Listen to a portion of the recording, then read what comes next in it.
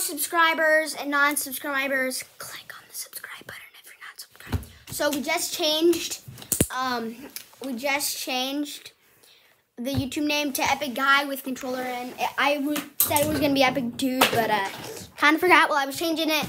Channel's already updated. It already is uh, changing, so I'm gonna go on YouTube right later and go just on, on a not signed in account. Just go on the website and see if it has changed successfully. Click on one of my videos. I'll do that. So now on and tell your friends all about it changed and go subscribe. Everything about that. So thanks a lot for watching and Keep reading. no. No, keep playing video games. Oh. Don't read, but stay in school. Reading is actually really fun. Just don't read. Do not. Just read. Dude, stay Oh yeah, we made this thing on Scratch. No, don't